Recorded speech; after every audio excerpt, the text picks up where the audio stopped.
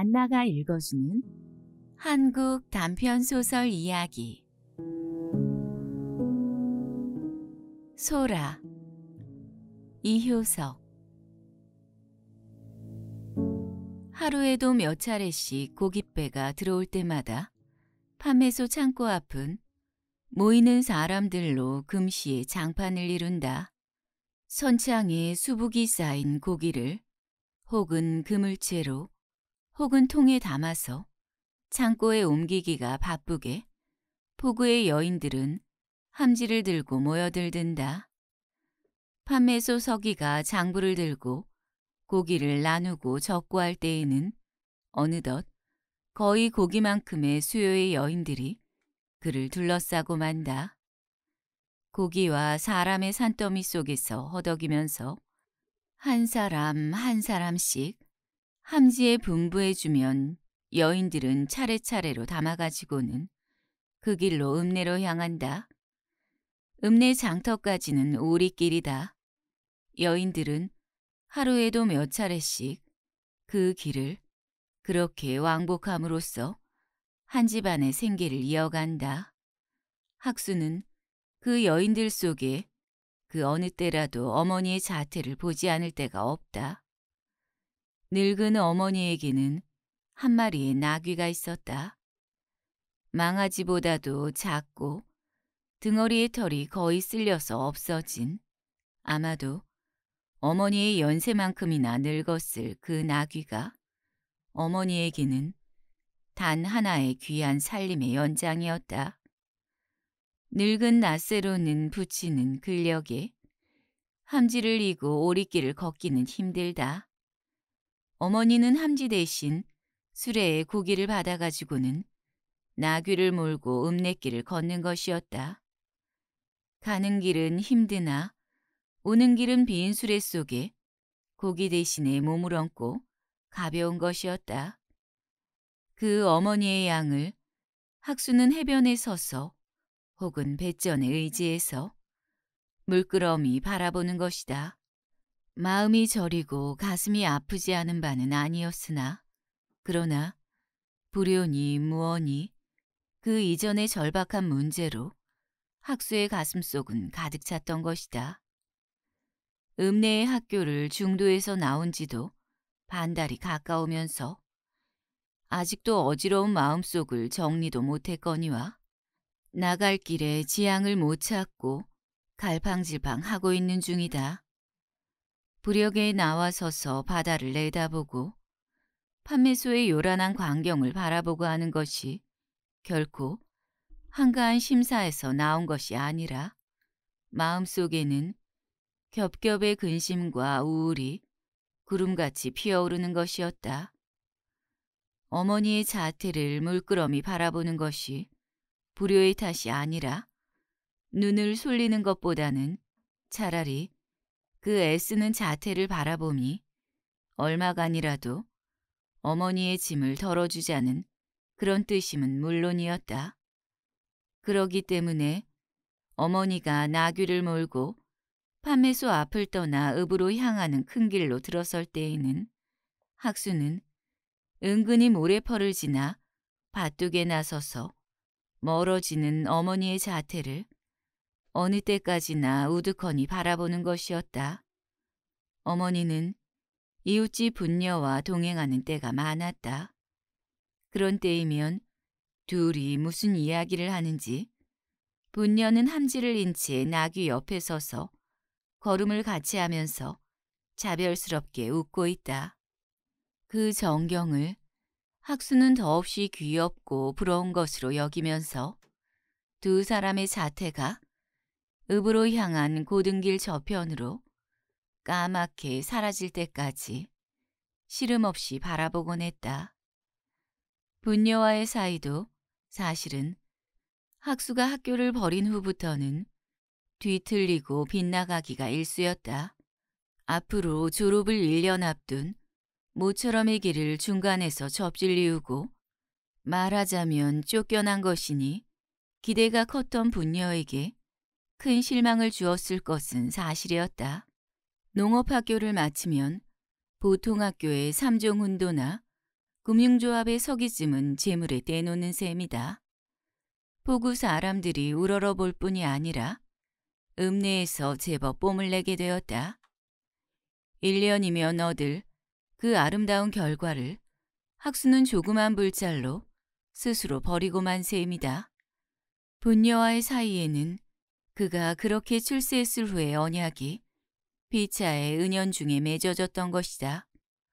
보구 사람들도 그것을 믿었고 분녀는 거기서 한층의 용기를 얻어 날마다의 일에도 힘에 맺히고 마음이 기뻤다.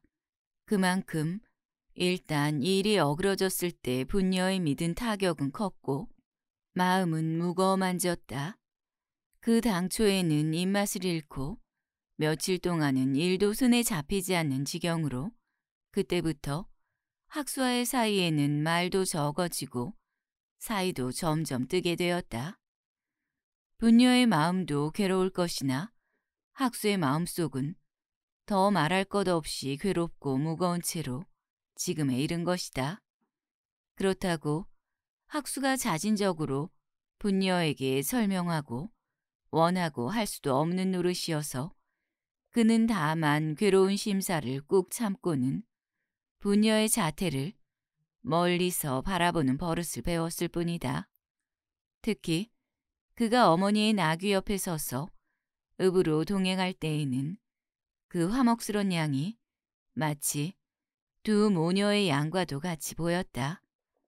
학수는 괴로운 가운데에서도 남모를 일종의 위안을 움켜내면서 될 수 있으면 어머니의 혼잣길보다도 분녀와의 동행하는 것을 보려고 부력에서 그 기회를 은근히 살피고 엿보는 날이 요사이 와서는 많아졌던 것이다.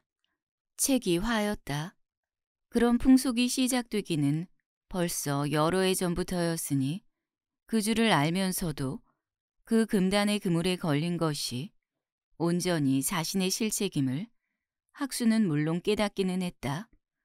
공교롭게 양잠 당번이어서 하룻밤에 뜻맞는 동무가 3, 4인이나 모이게 된 것이 불행의 근원인지 모른다.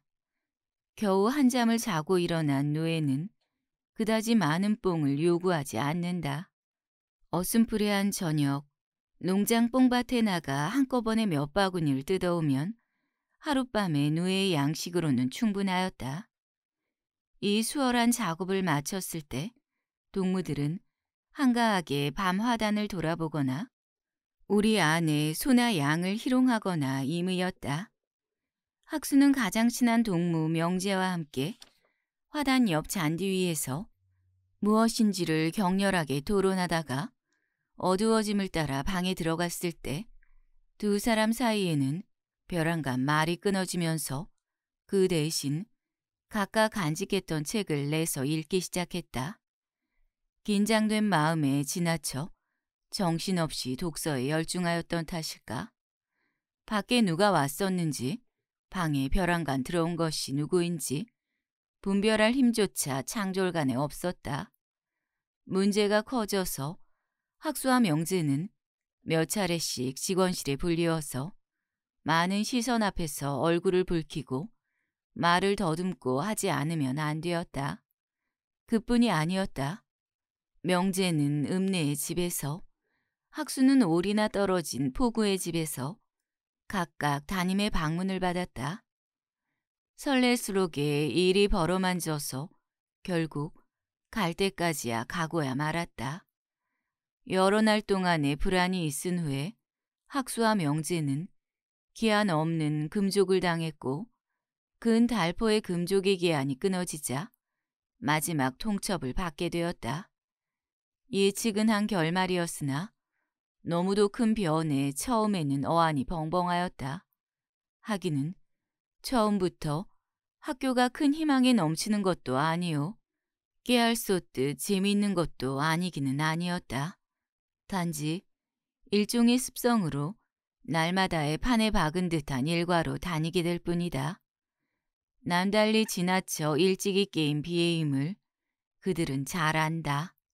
그러나 그들의 진짜 마음속은 그런 것이라고 하더라도 우선 발 디딜 곳을 잃어버렸음이 애틋했고 창졸간에 앞길에 대한 계책이 서지 않던 것이다. 예측하지 못한 커다란 우울이 엄습해와서 어두운 정막을 눈앞에 드리웠다. 더구나 학수는 분녀와의 미래를 생각할 때 더 한층 괴로움이 컸다. 좁은 학교의 공기라는 것은 지나쳐 인색하고 답답하고 협착한 것으로 여기긴 했으나 그렇게 빨리 반대의 효과가 닥쳐올 줄은 꿈꾸지 못했던 것이다. 인색하고 협착하다면 학수들이 그날 밤에 당한 변부터가 그런 것이었으나 평일에도 그는 내 활개를 펴고 시원한 공기를 마음껏 마셔본 그런 적이 혹은 그런 감동을 받아본 적이 몇 해 동안에 한 번도 없었다. 늘 달팽이같이 움츠리고 쪼그리고 감각과 신경과 지혜를 죽이고 허구한 날 그 무슨 꾸중과 벌을 기다리는 허물 없는 어린아이의 꼴이었다. 오죽하면 그 인색한 속에서 학수가 발견한 유일의 자유로운 처지라는 것이 그 귀괴하고 야릇한 곳이었을까? 내 쪽의 벽으로 된 반평도 차지 못하는 공간이라면 세상 사람은 대체 무엇을 상상할까? 학수에게 가장 자유롭고 가장 너그럽고 가장 넓고 가장 신성하게 여겨진 그 세상을 세상 사람은 항용 생각지도 못하며 생각할 필요도 없는 것이다. 왜 그러냐 하면 학수에게 가장 자유롭고 신성한 그곳은 세상 사람에게는 가장 추접하고 구역나는 곳이니 말이다. 그 구역나고 추접한, 아니, 넓고 신성한 곳에 과즉 10분이나 20분의 시간을 웅크리고 앉았을 때가 학수에게는 가장 자유로운 시간이었던 것이다. 주머니 속에 감추어 두었던 담배를 피우며 유유한 마음으로 생각에 잠겼다. 벽에 낙서를 바라보았다 하는 것이 얼마나 즐거운지 모른다. 벽의 낙서는 반역의 표현이요. 한 사회의 평판의 기록이다. 낙서를 바라볼 때 학수는 교내의 동향과 인물들의 평판을 한꺼번에 손안에 쥘 수가 있었다. 참으로 그 야릇한 공간 안은 다른 동무에게도 같은 기쁨을 가져다 주고 같은 습관을 길러주었는지 모르나 학수에게는 교내에서 그 어느 곳보다 즐거운 곳이었다. 양잠실에서 거북한 책도 그 속에서는 지극히 자유롭고 기할 것이 없었다. 펴든 책을 여러 장을 넘기는 동안에 정신은 통일되고 물리는 발라져서 학수는 필요 이상의 시간을 보내는 수가 많았고 차라리 그것을 원했다. 어떻든 가장 뜻있는 시간, 가장 중요한 시간이 그 불과 몇십 분이었던 것이다. 하기는 그 별천지에도 간간히 변이 없지는 않았다. 하루는 그래 열중하였을 순간 벼랑간 밖에서 문이 열리는 바람에 기급을 하고 들었던 책을 떨어뜨려 아깝게도 어두운 밑세상으로 장사진에 버린 적도 있긴 있었다. 밖에서 동무가 웃는 바람에 학수도 하는 수 없이 표정이 이지러지기는 했으나 이것이 그 속에서 받은 한 가닥의 순환이라면 순환이었다. 학교를 나온 후부터는 하염없이 바다를 바라보는 날이 늘어갔다. 모래 언덕에 서서 쉴 새 없이 꿈틀거리는 창파를 바라보는 동안 지난날에 인색했던 기억이 혹은 기쁘게 혹은 슬프게 마음속에서 부서지고 사라져갔다. 맑은 모래펄이 포구에서 시작해서 바다의 후미를 몇 곱해나 굽이굽이 돌아 남쪽으로 아련하게 연했고 모래펄 등으로는 해당화가 송이송이 푸른 전을 수놓았다. 그러므로 오라장간의 넓은 벌판이 뻗치고 벌판 끝에 읍내가 아물아물 보였다. 모래펄 밖으로 열린 바다. 바다는 무엇 하자고 왜 그리도 넓은가? 그 필요 이상으로 넓은 바다는 아마도 조물주가 잘못 만든 것이었거나 그렇지 않으면 우주를 만들다가 지친 판에 귀찮다는 듯이 중도에서 그대로 버려둔 것이거나 라고 학수는 생각했다. 그러지 않다면 그 넓고 자유로운 세계의 설명이 마음속에 서지 않는 것이다. 바다 빛에는 층이 있어서 가까운 데는 희고 그 다음은 초록이요. 먼 곳은 푸른 빛이어서 초록과 푸른빛과는 칼로 가른 듯이 구별이 확실했다. 초록 바다 위에서는 갈매기가 날고 푸른 바다 위에는 어성과 발동선이 아물거렸으나 위대한 바다에 비기면 가버무는 장난감 같이 밖에는 보이지 않았다. 먼 수평선 위를 외줄기의 연기를 허공 위에 그리면서 기선이 지나가는 때가 있었다. 끝에서 끝으로 기선이 사라질 때까지는 한 시간이 넘어 걸렸다. 기선은 움직이지 않고 한 자리에 서 있는 듯 했고 연기는 날리는 법 없이 그림 속에서처럼 공중에 얼어붙는 것 같았다. 다만 기적 소리만이 동안을 두고 뽀뽀 아련히 울렸다. 그만큼 바다는 넓었다. 비록 그다지 변화는 없다 하더라도 다만 한없이 넓은 그 탓으로만도 그 넓은 것을 사랑함으로써 학수는 진종일이라도 바다를 바라볼 수 있었고 그럼으로써 조금도 권태와 염증을 느끼는 법이 없었다. 모래 언덕에 앉아서 혹은 부력에 내려서서 아침의 바다, 대낮의 바다, 저녁의 바다를 차례차례로 즐기고 맛보고 하는 동안 그는 그 속에서 그 무엇을 얻으려는 듯도 했다. 단조한 그 속이었건만 자꾸만 들여다보는 동안 그 무엇이 가슴 속에 흘러오고 금시에 손에 잡힐 듯 했다.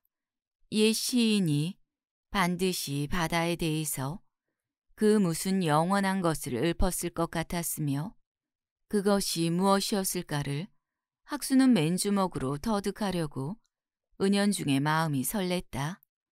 다른 것은 모르나 지금까지의 세상에 비해서 바다는 얼마나 활달하며 그 뜻을 사람에게 전하고 가르쳐 주려고 하는가를 그는 쉽게 깨달을 수 있었다. 인색하고 협착하던 학교에 비겨서 얼마나 활달하고 너그러운가. 바다는 학교에서는 기껏해야 내 쪽의 벽으로 된 반평에도 차지 못하는 야릇한 공간에서 학수는 자유의 세상을 구하지 않았던가?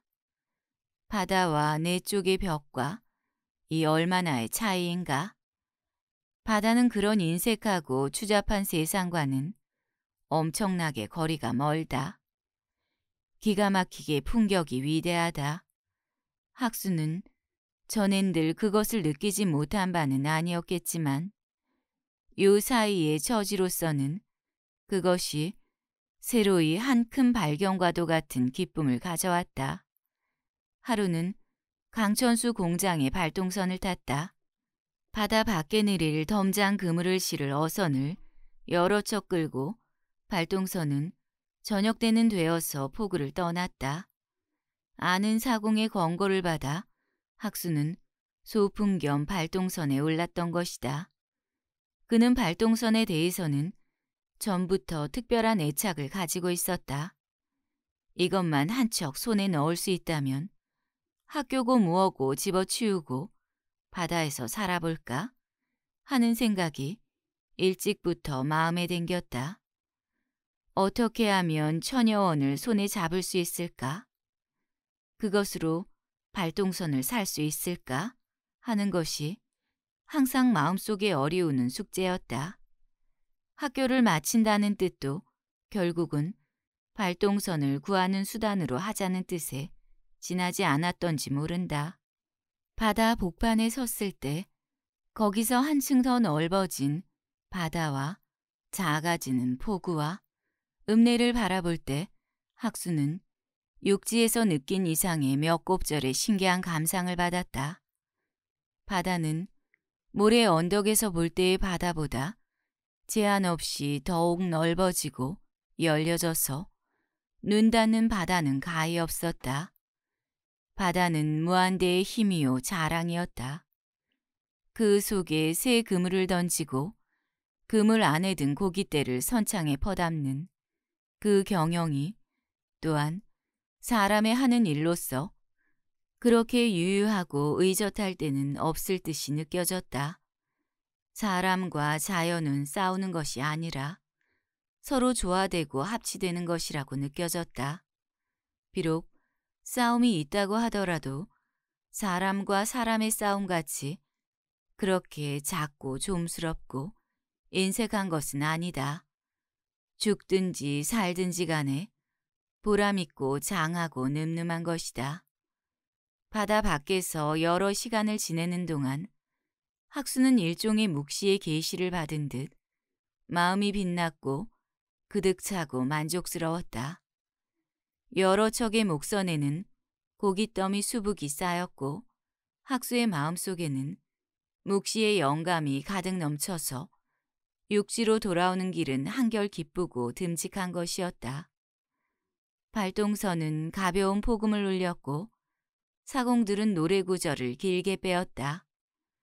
푸르고 붉은 깃발이 돛대 위에 날려 고기의 수확이 많음을 자랑했다.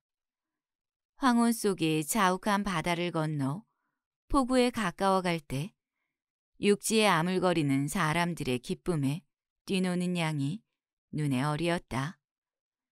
부력에 가까워감을 따라 마음도 뛰놀았으나 발동선 좁은 백기슬게 올라서서 포구의 사람들을 신기한 것으로 보고 있던 학수는 기뻤던 그날의 마지막 수학인 듯 불의에 발을 빗디디고 배점 밖으로 떨어졌다.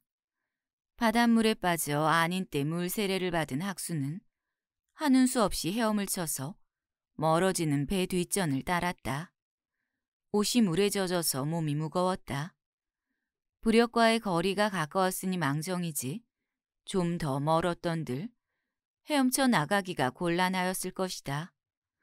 모래 위에 기어올랐을 때에는 물에 빠진 거위라도 참혹한 꼴이었다. 그러나 그다지 불쾌한 생각 없이 그것도 하루 동안의 감격 대신에 받은 한 작은 귀여운 선물이라고 여기면서 사람의 틈을 빠져서 급하게 집으로 향하였다. 부엌 일을 하던 어머니는 그 꼴을 결코 칭찬하지 않았다. 아이고, 꼴 좋다. 학교를 그만두더니 날로 주럽이 들고 꼬락서니가 사나워만 가는구나. 질칠지 못한 것. 이 몸이 얼른 죽어야 저 꼴을 안 보게 되지. 하는 어머니의 꾸중이 마음을 꼬치꼬치 찔렀다.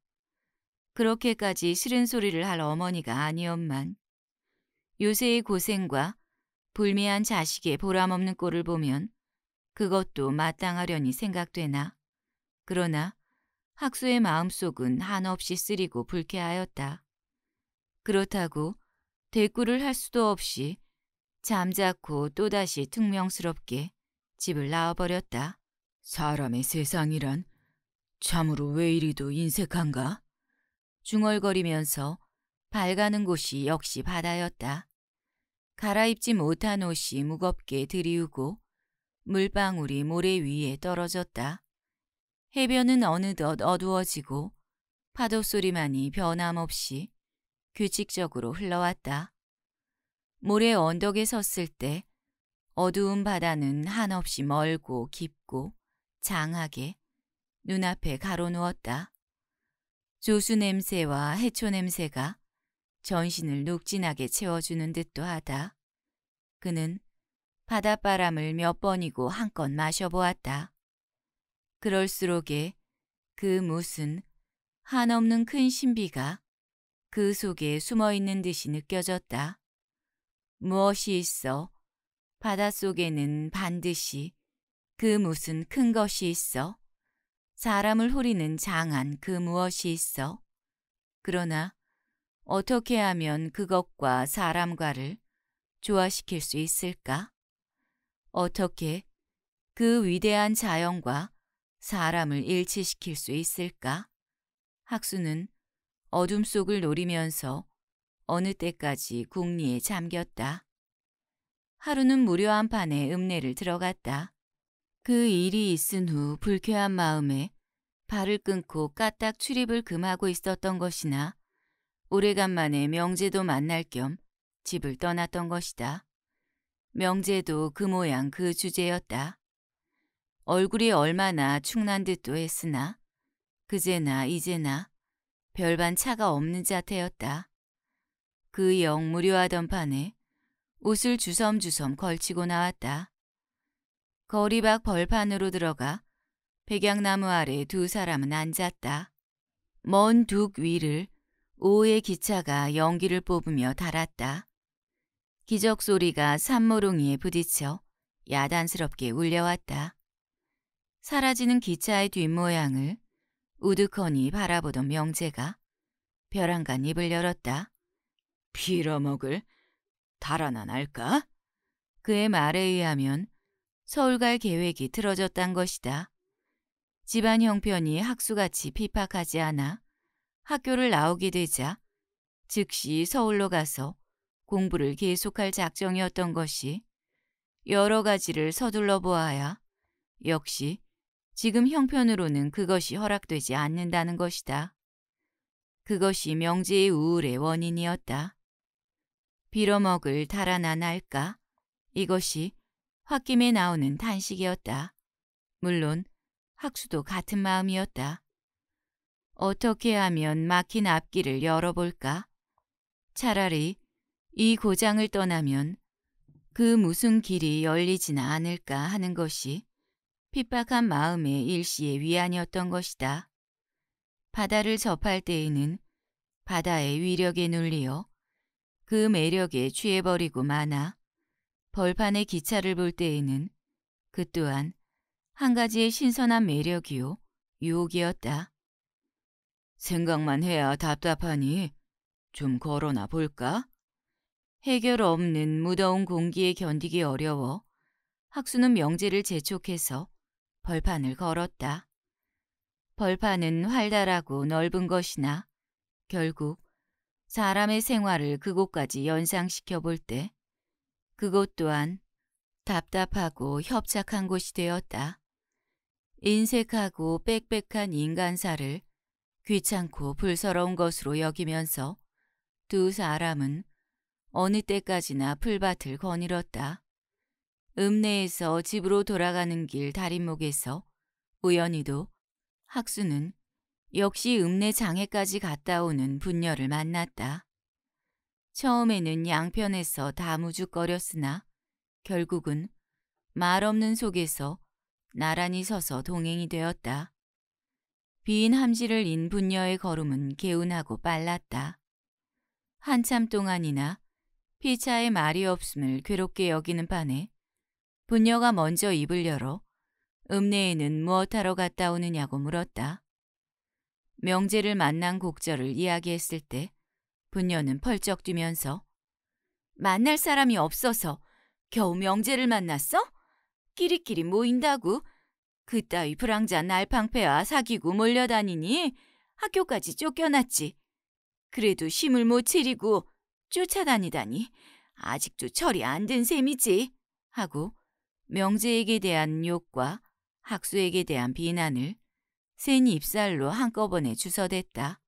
뭣도 모르고 주제 넘게 웬 잔소리야? 명제가 왜 어디가 나쁘단 말이야? 왜 남만 못하단 말이야? 아무것도 모르는 거리 사람들 하는 말을 그대로 받아가지고 경솔하게 야단이야? 하고 학수는 톡톡히 분녀를 꺾으려 했다. 그러나 분녀도 황고집을 부리면서 명제의 말이라면 사족을 못 쓰듯 그에 대한 비난을 늘어놓고는 요번에 학수가 받은 봉변이 결국 명제가 깡충된 탓이라는 것, 그에게서 애매하게 물들었다는 것을 말했다. 학수가 아무리 동물을 막아주려고 해도 분녀의 고집은 당할 수 없어 주춤하는 동안 분녀는 한 번 터진 입심으로 하고 싶은 말은 다 내섬기었다. 나중에는 꺼내는 소리가 영진이의 이야기였다. 학수들보다는 한 해 앞선 그를 학교를 졸업하자 읍내 금융조합에 서기로 들어가 집안을 제법 옳게 다스려가는 것이었다. 분녀의 말을 빌면 위인이 어찌도 착실한지 조합 안에서나 거리에서도 신용을 얻어 읍에서는 모범 청년으로 들리게 되고 1년 동안이나 충실히 저축한 돈으로 얼마 안가 잔치까지 하게 된다는 것이었다. 색시는 분녀의 동무 봉선이란 것이다. 들으라는 듯이 높은 목소리로 질거리는 분녀의 뜻을 학수가 모르는 바는 아니었고 그의 답답한 심정을 추측하지 못하는 바는 아니었다. 영진이의 이야기를 그렇게 야단스럽게 늘어놓는 것을 참을 수 없이 불쾌히 여기었다. 홧김에 퉁명스럽게 한마디 툭 쏘는 소리가 그럼 왜 대신 시집이라도 가지? 하는 싫은 소리였다. 이 한마디가 고집스런 분녀의 마음을 찌른 모양이었다. 시집 가고 말고 그만큼 착실한 사람에게 가게 되면 왜 안 가겠어? 봉선이 신세가 오죽 부러운데 불황자들보다야 임금으로야 열 곱절 백 곱절 우찌리지? 하고 재빠르게 짓거리는 것이다. 학수의 마음이 편할 리 없다. 어째?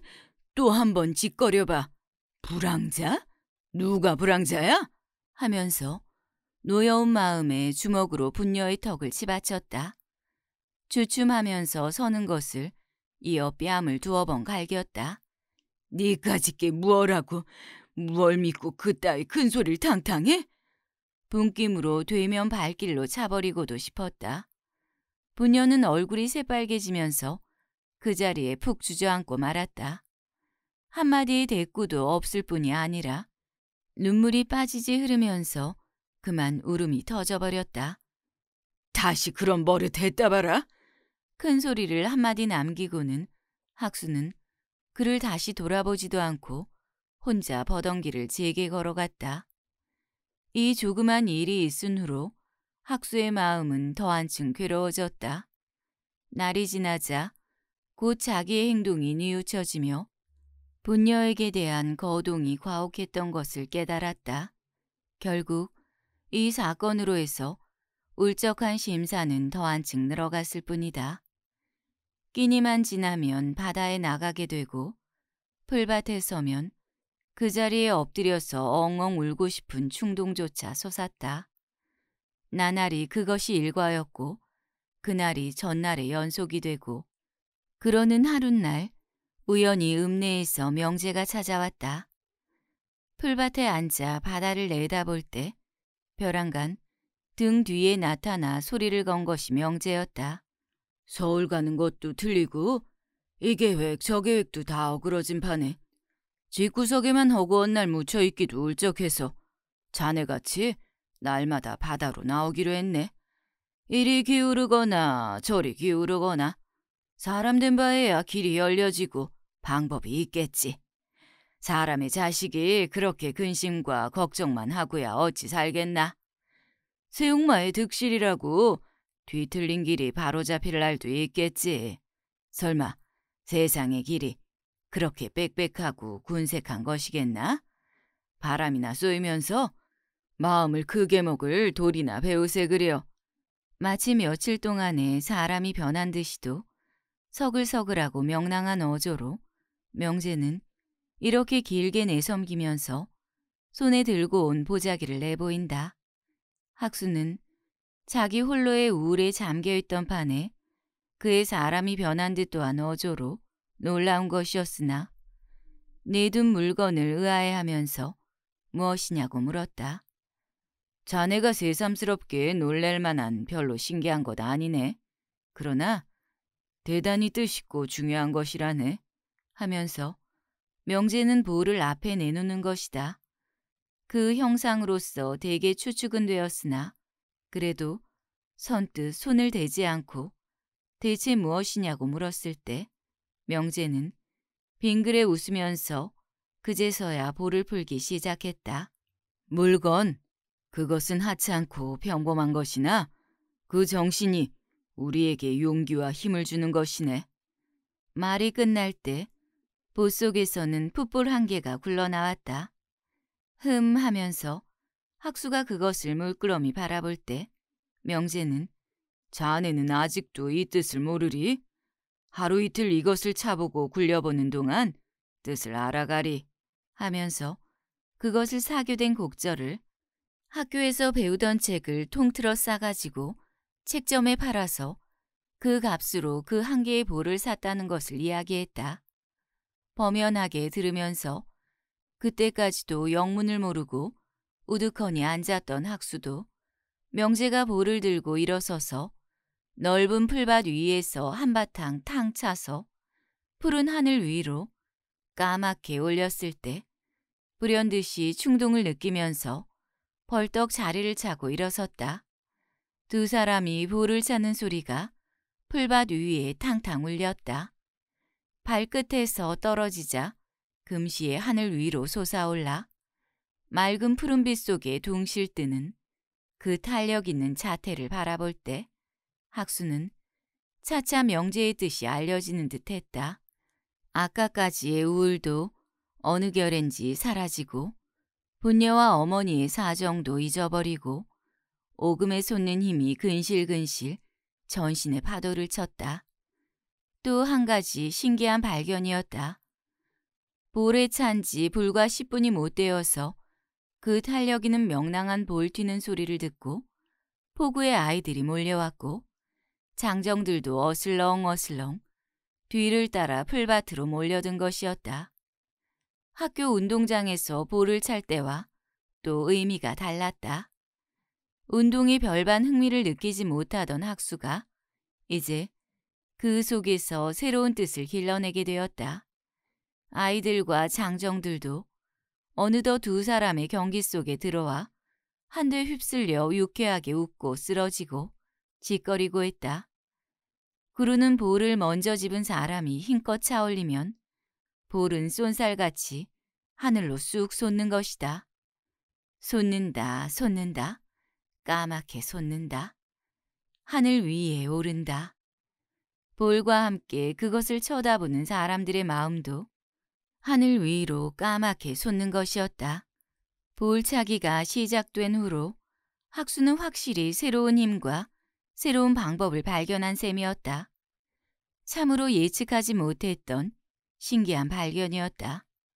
명제는 날마다 읍내에서 오리길을 혹은 걸어서 혹은 자전거로 나왔다. 두 사람이 볼을 가지고 풀밭에 이를 때면 반드시 아이들을 선두로 장정들이 모여든다.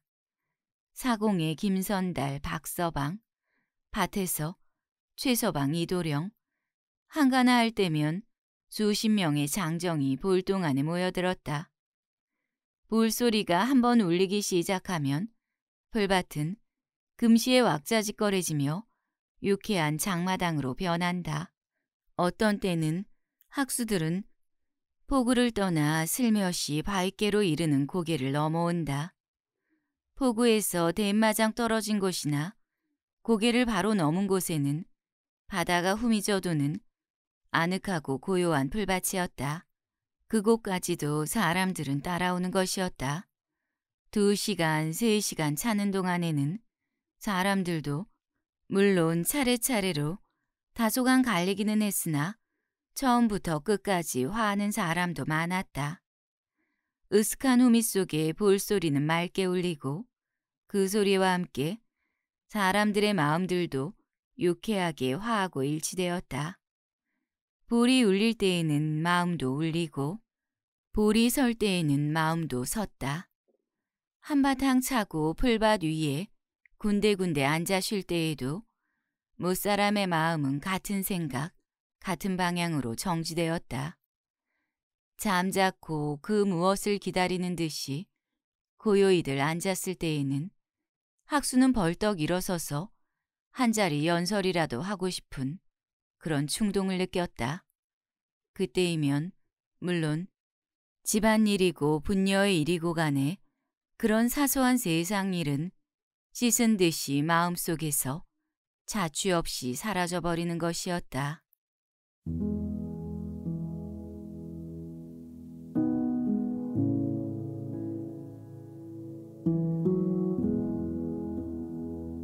잘 들으셨나요? 그러시다면 구독과 좋아요 부탁드립니다. 저는 책 읽어주는 안나였습니다. 감사합니다.